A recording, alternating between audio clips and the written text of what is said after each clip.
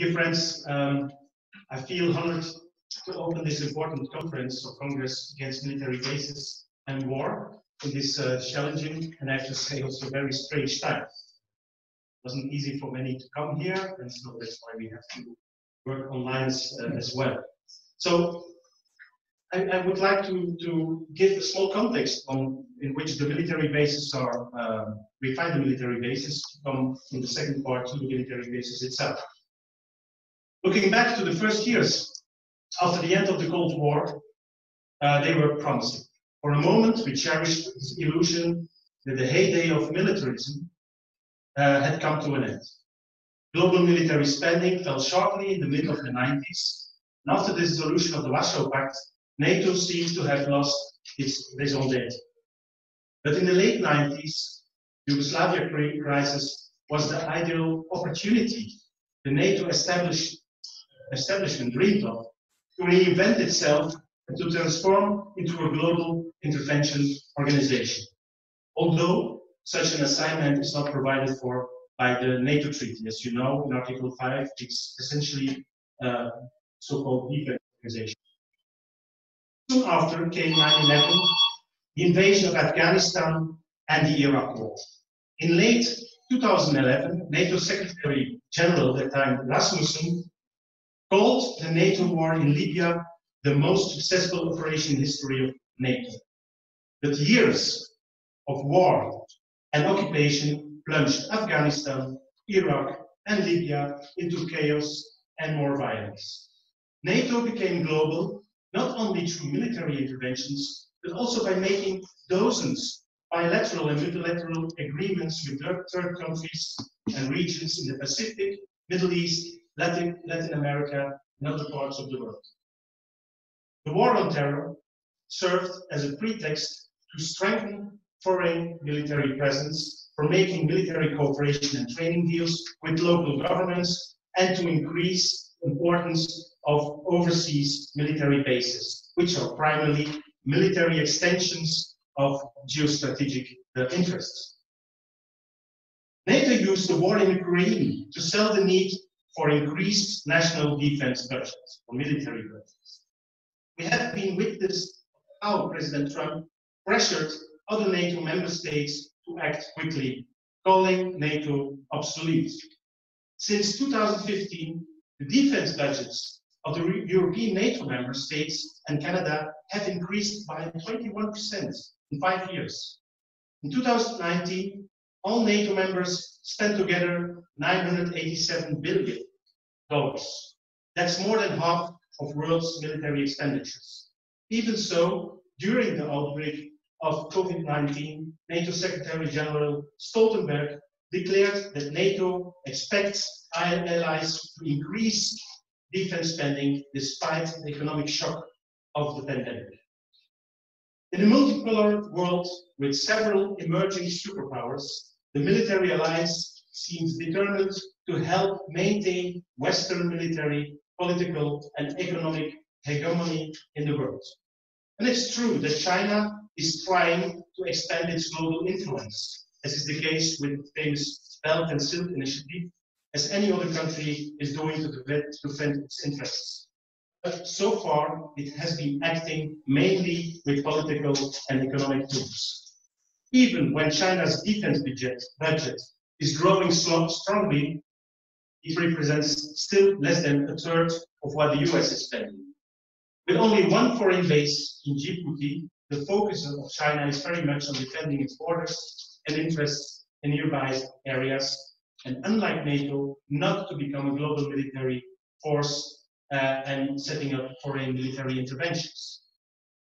In Europe, propaganda is focusing on uh, fabricated Russian threats to ramp up military activity in Poland and the Baltic states, although Russia's defense budget is only 7% of what NATO member states spend today. Coming to the military bases. The US is estimated to have around 800 overseas military bases and facilities in more than 80 countries. And there are many figures circulating. Some figures go up to 160, depending on the definition on what is a military base uh, or a facility. And the annual cost for personal maintenance and transportation is estimated at a 50 billion, 50 billion, sorry, uh, dollars. If I include 90 billion costs for overseas contingency operations, US overseas military presence and activities is worth 140 billion dollars. That's a huge amount of money. US is by far the most important foreign military power, controlling 90 to 95% of the total number of military bases and facilities in the world. France, United Kingdom, and Russia have each between 10 and 20 foreign military bases. The main host countries are primarily the countries that lost World War II, being Germany, Japan, and Italy. And South Korea became another important host country after the Korean War of 1953. Today, the trend seems to be fewer military bases, although more countries with more well-equipped, rapid deployable troops by making more use of local military forces. Last decade, military interest in resource-rich Africa has increased sharply. At least 13 countries have a substantial presence at the continent and Africa, with the US around 10,000 troops and France 7,500 troops as main foreign powers. The strategic horn of Africa is in the spotlight because of its geostrategic location. Maybe a few words, I take the opportunity, uh, about my own country. Belgium hosts both the NATO headquarters in Brussels, which is the political and administrative center of the alliance, and also the supreme headquarters Allied powers in Europe, Shape in Casteau, that is the headquarters of the Allied Command Operations. Brussels hosts also many European institutions like the European Defence Agency, with its numerous lobbyists from the military industrial complex. In June, as you know, especially in Germany, in June 2020, President Trump announced the withdrawal of about one third of US troops from Germany. And you, I think you can celebrate now. um, his defense secretary, Mark Esper, declared that 12,000 troops would be relocated in Eastern Europe on a so-called rotational basis, Italy and Belgium. The US European Command, the Special Operations Command Europe, and Africa would be moved to Mons in Belgium, from Stuttgart to Mons in Belgium. But this announcement, and this shows the arrogance of an imperial power, this announcement was made without even asking the permission of the countries concerned. And it's disturbing that in my country, Belgium, this hasn't caused any political discussion worth the name, although the security implications are great, I guess. Last, why should we oppose foreign military bases? First, military bases are the backbone of the military systems of the US, NATO, and the European Union. They are used intensively in military maneuvers and are an integral, integral part of war campaigns. Military bases in Turkey, Germany, Saudi Arabia, and the Gulf states were crucial in the war against Iraq in 2003. Military facilities in Iraq and Syria are used for aerial bombardments in the fight against Islamic State, but according to War Air, Air Force, sorry, uh, an international NGO, uh, killing between 8,000 and 13,000 civilians. According to reports, the Air Force base in Ramstein is used in drone war against terror suspects worldwide, killing many civilians in countries like Yemen and Pakistan as well. Second, military bases and installations play an important role in undercover operations, more specifically of the CIA. According to reports published this summer, the CIA, with the support of British intelligence, set up armed and trained paramilitary forces in Kenya, responsible for extrajudicial executions of terrorist suspects. Another example, Manta Air Base in Ecuador was used for Plan Colombia, war on drugs and against the FARC guerrillas until President Rafael Correa ordered the withdrawal of US troops in 2009 once the 10-year agreement was expired. I come later back to this, um, this case in uh, Manta. Third, military bases are part of the rendition programs launched in the 90s, in which terror suspects have been transported to destinations for torture or imprisonment without legal assistance or trial. The best known example is, of course, Guantanamo, but several overseas bases, uh, including in Europe, have been involved. Fourth, US uses the, its military bases in Belgium, in Germany, Italy, the Netherlands, and Turkey to store nuclear weapons. And in wartime, these B-61 nuclear bombs must be deployed, except Turkey, by pilots of the countries concerned under NATO's nuclear sharing policy.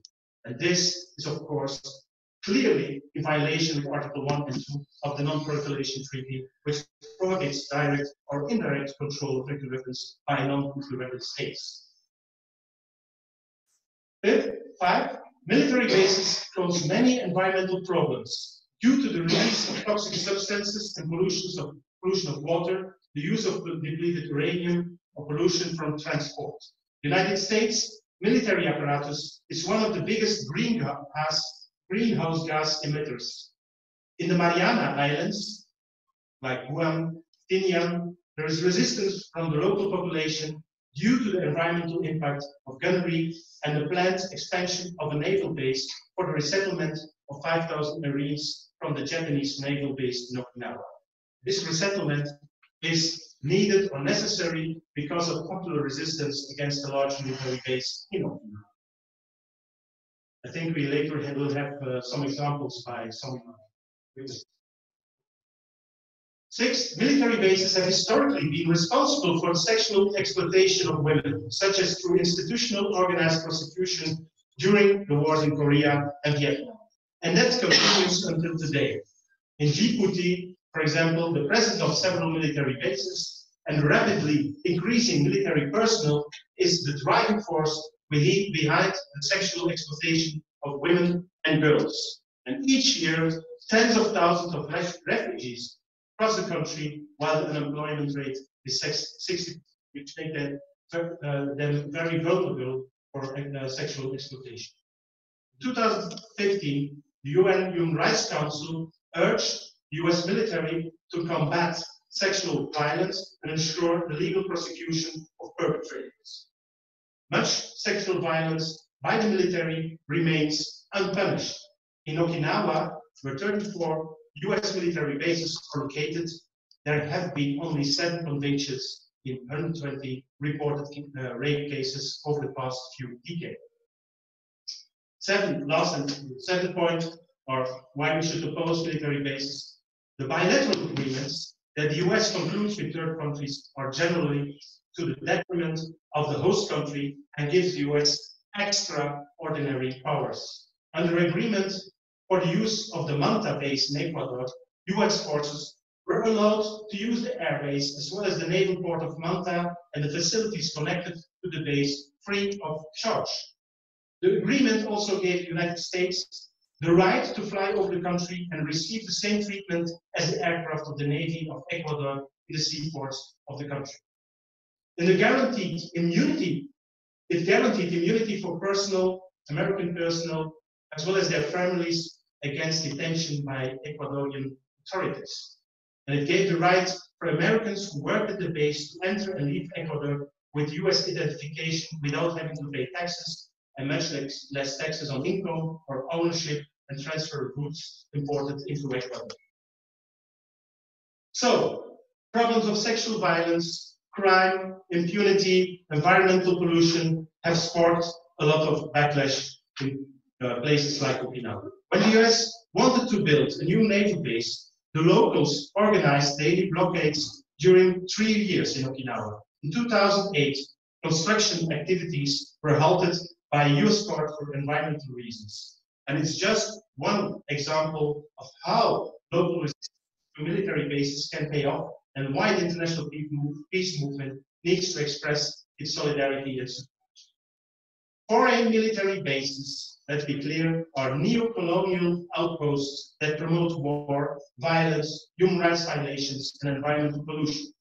They are not in the interest of the local populations, neither for the taxpayers of the countries with military bases. Military bases serve the interests of multinationals. and the military industrial complex of the powerful leading elite. We must unite in this struggle, and as been said before, with the peace, environmental movement, the social justice movement, with one clear goal, the closure of all foreign military bases. So I look forward to the presentations by many speakers this, today, the discussions and proposals of how we can strengthen the movement against foreign military bases. I thank you.